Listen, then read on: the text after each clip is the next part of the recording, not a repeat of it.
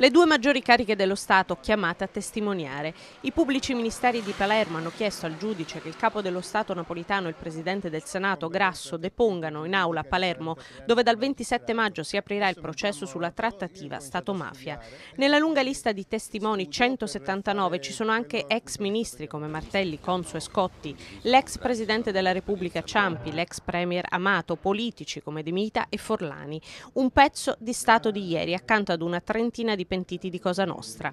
Napolitano dovrebbe testimoniare sulla corrispondenza epistolare con il suo allora consigliere giuridico Loris D'Ambrosio, all'indomani delle polemiche sulle intercettazioni con l'ex ministro Nicola Mancino, imputato a Palermo per falsa testimonianza.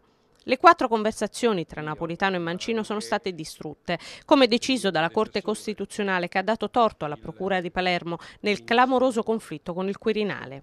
Al telefono con D'Ambrosio Mancino cercava una sponda istituzionale per evitare un confronto con l'ex guardasigilli Martelli. Voleva anche che l'allora procuratore antimafia Grasso intervenisse per verificare il coordinamento delle indagini tra le procure di Palermo, Caltanissetta e Firenze.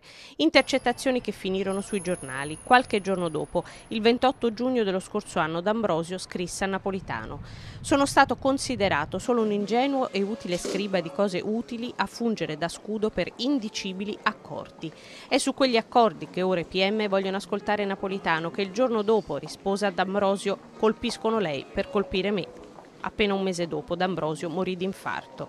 Adesso sarà il giudice a decidere se Napolitano e Grasso dovranno testimoniare oppure no.